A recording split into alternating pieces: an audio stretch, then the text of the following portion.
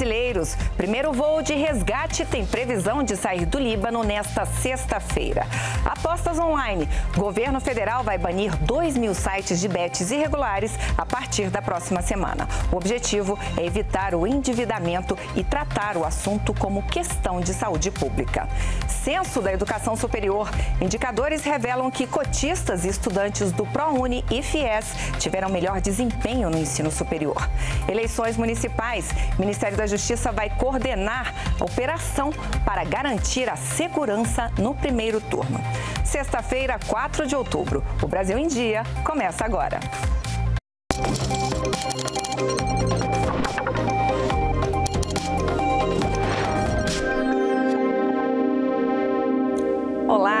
Seja bem-vindo ao canal Gov. Lembrando que você pode nos acompanhar também ao vivo pelas nossas redes sociais e pela Rádio Gov. O primeiro voo que vai resgatar brasileiros no Líbano deve chegar em Beirute ainda hoje. A previsão é que a aeronave da FAB permaneça por quatro horas em território libanês. 220 brasileiros serão repatriados nesta operação, batizada de Raízes do Cedro. O avião que vai resgatar brasileiros no Líbano deve pousar em Beirute nesta sexta-feira.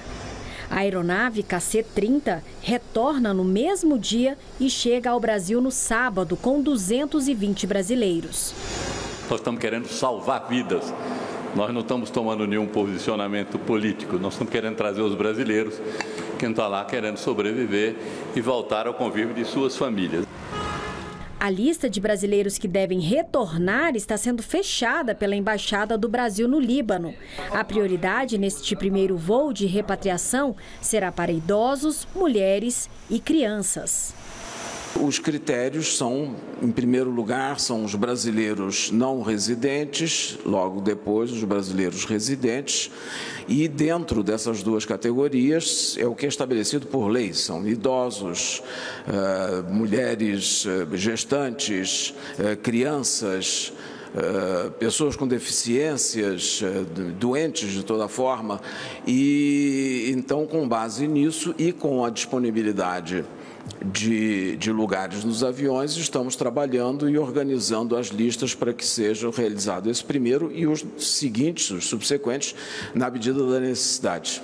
21 mil brasileiros vivem hoje no Líbano. É a maior comunidade do Brasil no Oriente Médio. Por isso, o governo já se prepara para novas missões e nós seríamos do, do elenco de países do mundo o sétimo país a, a desembarcar lá, que saca a aeronave que trará mais pessoas em cada voo.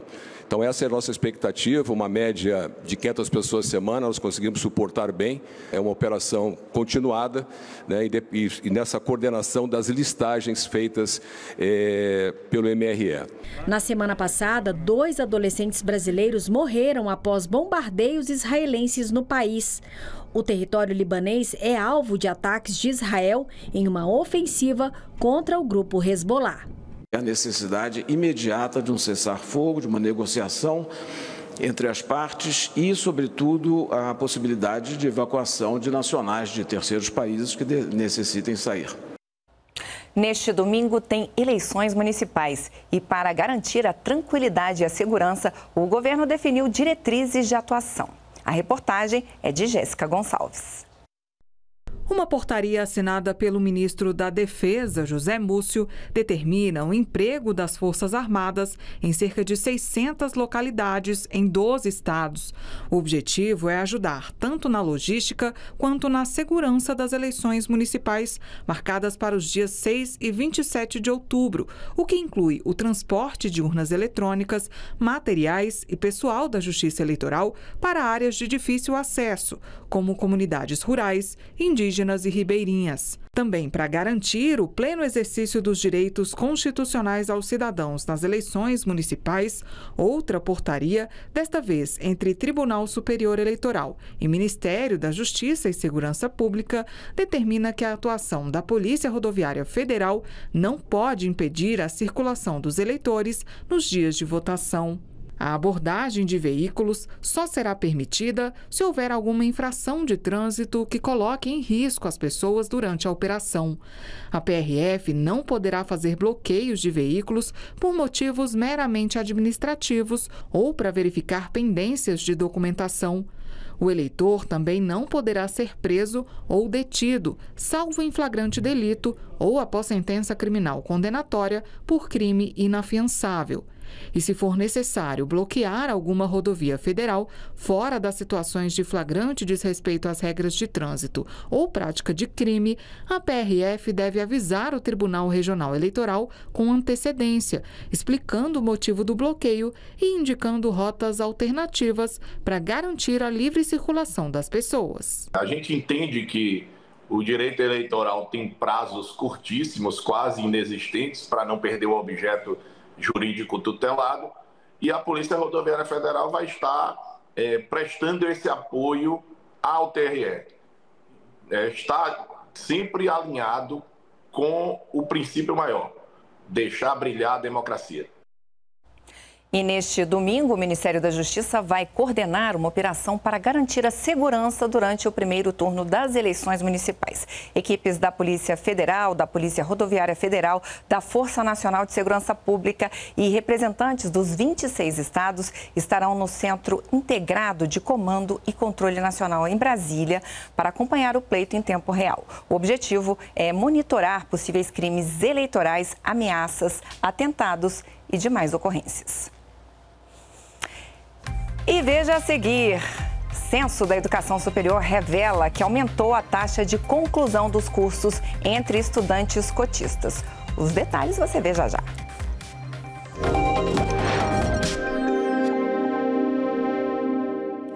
Estamos de volta e eu já te conto que 2 mil sites de apostas que não estão autorizados para funcionar no país vão sair do ar até o dia 10 de outubro. O anúncio dessa e de outras medidas sobre as chamadas BETs foi feito no Palácio do Planalto em reunião coordenada pelo presidente Lula. Com uma nova lista publicada nesta quinta-feira, o Ministério da Fazenda deu mais um passo no processo de regulamentação das casas de apostas online no país. Até o dia 10 de outubro, quinta-feira da semana que vem, quem não estiver como autorizado na lista vai ser derrubado pelo governo. Em reunião no Palácio do Planalto, o ministro da Fazenda atualizou o número de sites que vão ser descontinuados. Nos próximos dias, 2 mil sites vão sair do ar, vão sair do espaço virtual brasileiro. Eles não vão, vão se tornar inacessíveis ao cidadão que está no território nacional. A reunião serviu para o governo apresentar novas iniciativas para enfrentar o problema das apostas online que para o presidente Lula virou uma questão de saúde pública. Tem muita gente se endividando, tem muita gente gastando o que não tem.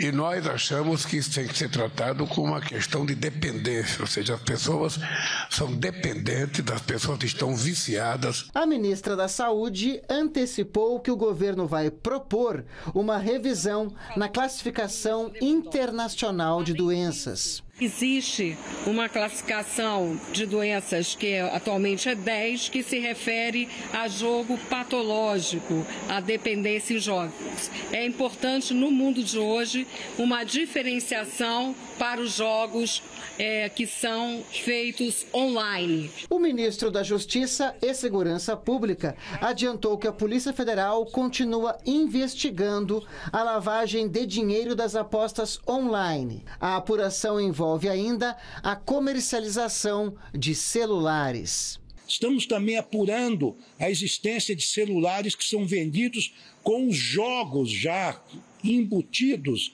é, no próprio aparelho. Isso também está sendo coibido. O ministro do Desenvolvimento Social afirmou que a pasta sugeriu examinar se não estão usando, sem consentimento, CPFs de beneficiários de programas sociais para fazer as apostas. E adiantou que cartões do Bolsa Família vão ser vedados para este uso. Vamos adotar para os cartões, é, em geral, da, da população. A proibição é uma regra, como foi já anunciada, e estamos também adotando um mecanismo próprio para o cartão do Bolsa Família, considerando que ele é um cartão é, administrado pela Caixa Econômica junto com o MDS. Vamos falar de saúde e bem-estar? Para levar mais oportunidade de praticar atividades físicas e esportivas, o Ministério do Esporte tem apostado em parcerias. Até agora já foram investidos 288 milhões de reais em mais de 350 projetos sociais que atendem idosos, crianças e pessoas com deficiência. Quase todas as capitais e alguns municípios já têm esses núcleos de atendimento. E estudantes que tiveram acesso à educação superior federal por meio de cotas no ano de 2014 tiveram uma taxa de conclusão do curso maior que a dos não cotistas. Os números são do Censo da Educação Superior, que apontaram ainda que o ProUni e o FIES impactam positivamente o índice de concluintes dos cursos de graduação no Brasil. Estudantes concluintes do ensino médio das redes federal e privada e os que cursaram também educação profissional e tecnológica são os que mais entram imediatamente no ensino superior. Em 2022, de todos os estudantes que terminaram o ensino médio, 27% ingressaram na educação superior em 2023. Com os concluintes do ensino médio de escolas federais, essa proporção sobe para 58% número similar aos dos estudantes das escolas privadas, de 59%. Os alunos de escolas estaduais ficaram abaixo da média. Apenas 21% começaram uma graduação logo após o ensino médio. Já entre aqueles que vieram da educação profissional e tecnológica, 44% entraram em um curso de graduação logo após a formatura. O que derruba o mito de que o estudante vai fazer o profissionalizante ou ele vai fazer o ensino superior. Né? É, não, o estudante que tem uma boa educação profissional no ensino médio, ele ingressa mais na educação superior. As informações são do Censo da Educação Superior 2023, divulgado pelo Ministério da Educação e o INEP, o Instituto Nacional de Estudos e Pesquisas Educacionais Anísio Teixeira. Os dados desta edição mostram também que os estudantes que acessam a universidade por políticas de cotas e também programas sociais, como ProUni e FIES, além de ter um desempenho melhor que os estudantes regulares, têm também uma taxa maior de conclusão dos cursos. Segundo o censo, a taxa de conclusão e aprovação de cotistas em cursos é 10% maior que os demais estudantes. Entre os beneficiários do ProUni, o índice é 22% maior. Já entre os alunos que contam com o FIES, o número é 15% superior ao de quem não utiliza o auxílio. Eles respondem, eles dão resultado. É, quando instados a entrar na educação superior, quando a gente dá uma chance para esses estudantes de baixa renda, os estudantes pretos, pardos, indígenas, é, eles respondem. É, se, o, se, o, Estado, se o governo é, der um apoio, a taxa de conclusão desses estudantes é muito maior. Ainda de acordo com o censo, as vagas em institutos e universidades públicas cresceram 19%, chegando a 1 milhão. A recuperação do orçamentário de 2023 é, tanto das universidades, a recomposição, tanto das universidades como dos institutos, ela mostra resultados imediatos é uma correlação direta que a gente tem entre o investimento público é, e aumento do número de vagas, aumento da oferta desse número de vagas. Ainda falando de educação, o INEP divulgou uma cartilha com orientações sobre a redação do Enem deste ano. Com ela, os candidatos podem tirar dúvidas sobre os critérios que serão usados na correção dos textos. A cartilha traz ainda exemplos comentados de redações que tiraram a nota máxima. Mais de 5 milhões de pessoas se inscreveram no Enem deste ano. As provas serão nos dias 3 e 10 de novembro. A redação será no primeiro dia, junto com as questões de linguagem e ciências humanas. No segundo dia, os candidatos responderão às questões de matemática e ciências da natureza. Para baixar a cartilha de redação, basta acessar o site gov.br/inep. E veja a seguir Cozinhas solidárias vão contar com painéis solares e biodigestores que transformam lixo orgânico em biogás. A gente volta já já.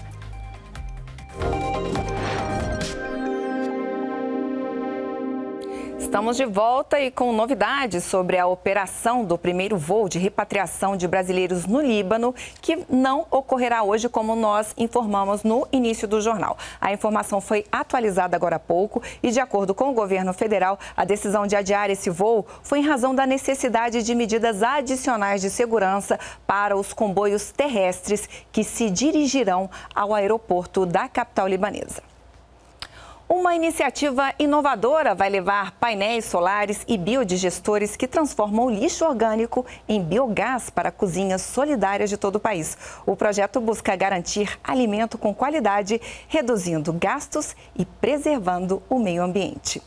A ação conta ainda com a Itaipu Binacional, a Associação Brasileira de Biogás e a Caritas. A meta é alcançar 100 cozinhas solidárias até o final de 2025. A Cozinha Solidária da Fraternidade O Caminho, em Foz do Iguaçu, é uma das sete selecionadas para receber os equipamentos. O uso de biodigestores faz parte da Política Nacional para a Promoção do Cozimento Limpo e busca ofertar tecnologias sustentáveis para o preparo de alimentos, diminuindo também o desperdício. Os resíduos orgânicos são transformados em biogás e fertilizante natural. Já a instalação de painéis solares garantem o acesso à energia limpa. No lançamento do projeto piloto, o ministro de Minas e Energia, Alexandre Silveira, ressaltou que é preciso assegurar o mínimo a todos os brasileiros. Nós precisamos de reconhecer ainda a necessidade de inclusão para a gente garantir, no mínimo, alimentação para a nossa gente. Segundo, gás e energia elétrica. Não é possível que as pessoas que ainda não têm acesso ao emprego e à renda, não porque não querem, porque estão em regiões inacessíveis, porque não têm oportunidade efetiva, que a gente não dê o básico, que é alimento, energia e gás. Já a ministra das Mulheres, Cida Gonçalves, falou sobre o papel econômico e social das mais de duas mil cozinhas solidárias pelo país. Nós precisamos pensar nesse espaço como um espaço fundamental e importante, mas também como um grande espaço, como um grande espaço de enfrentamento à exclusão social. Esse pode ser o espaço, Wellington, esse pode ser o espaço, Alexandre, que a gente construa as nossas lideranças, as lideranças comunitárias, as lideranças que estão lá na, na, na comunidade, conversando sobre direitos, sobre respeito, trabalhando sobre dignidade, sobre solidariedade, sobre conquista. Para o ministro do Desenvolvimento Social, o papel das cozinhas é fundamental, porque o alimento chega a quem mais precisa. Nós cruzamos dados com o Ministério da Saúde, onde tem desnutrição. E a partir daí a gente faz a opção pela presença de cozinhas solidárias. Então, as cozinhas solidárias, além de tudo que foi dito, representa aqui uma mão muito firme que dá ali amparo às pessoas, que orienta para o cadastro, que orienta para programas, que orienta para a educação, mas principalmente chega onde a gente não está conseguindo chegar. E começou no Rio de Janeiro a reunião ministerial do Grupo de Trabalho de Sustentabilidade Ambiental e Climática do G20. A ministra Marina Silva cobrou que os países do grupo liderem uma resposta às mudanças climáticas e a outras crises ambientais, como a perda de biodiversidade e o aumento da poluição. É tempo de agir e não podemos deixar ninguém para trás. O Brasil enfrentou uma enchente histórica no Rio Grande do Sul em 2024 que afetou diretamente mais de 2 milhões de pessoas. Ao mesmo tempo, nas demais regiões de nosso país, enfrentamos a situação inversa de uma seca intensa que afeta nossa população, nossa produção agropecuária e coloca em alerta nosso sistema de produção de energia hidrelétrica. Nos biomas Amazônia, Cerrado e Pantanal, a estiagem recorde isola comunidades e cidades e povos e provoca incêndios de enormes proporções. A situação não é diferente no cenário global, mostrando em três dimensões os danos e sofrimentos que temperaturas médias de 1,5 graus acima de níveis pré-industriais já estão causando em grande parte da humanidade. Os países integrantes do G20 têm a grande responsabilidade e a oportunidade de fazerem a diferença. Conjuntamente, representamos mais de 80% do produto interno bruto global, 80% da população mundial, assim como aproximadamente 80% das emissões globais de gases de efeito estufa do uso de materiais e energia e 75% da geração de resíduos. Por isso, devemos ajudar a liderar o enfrentamento à crise climática, somada às demais crises ambientais em curso, como a perda de biodiversidade, a intensificação dos processos de desertificação e das secas, além do aumento da poluição. Marina Silva também destacou que o Brasil, na presidência do G20 este ano, se esforçou para que a questão ambiental esteja no centro dos debates da cúpula, que será realizada em novembro no Rio de Janeiro. Na condição de terceiro país em desenvolvimento a presidir o G20, grupo das 20 maiores economias do mundo, após a Indonésia e a Índia, o Brasil, sob a liderança do presidente Lula, estabeleceu um percurso para o exercício de sua liderança que faça jus ao papel e à contribuição que o olhar e a experiência dos países em desenvolvimento podem deixar como legado. Para tanto, estabeleceu como prioridade o enfrentamento dos principais problemas de nosso tempo, a mudança do clima e a degradação ambiental, as desigualdades sociais e a necessidade de uma governança global à altura desses desafios. No G20, a presidência brasileira propôs abordar desafios urgentes das agendas é, ambiental e climática, discutindo quatro eixos temáticos: oceanos, ação e financiamento para adaptação à mudança do clima, valoração e preservação de serviços ecossistêmicos, resíduos sólidos e economia circular. Os relevantes resultados que hoje trazemos para esta reunião ministerial promovem a cooperação internacional e ações efetivas entre nossos países. E toda sexta-feira a gente encerra o nosso jornal com o quadro Fé no Brasil, quando a gente lembra algumas notícias da semana que mostraram como o país está evoluindo nas mais diversas áreas. Então vamos acompanhar aqui na área de economia. Na terça-feira, a agência de classificação de riscos Moody's elevou a nota de crédito soberano do Brasil. Com isso, a gente ficou a um passo de recuperar o grau de investimento que foi perdido lá em 2015. De acordo com a Moody's, a decisão foi tomada porque o Brasil Brasil vem crescendo acima do esperado e feito reformas econômicas importantes, como a reforma tributária.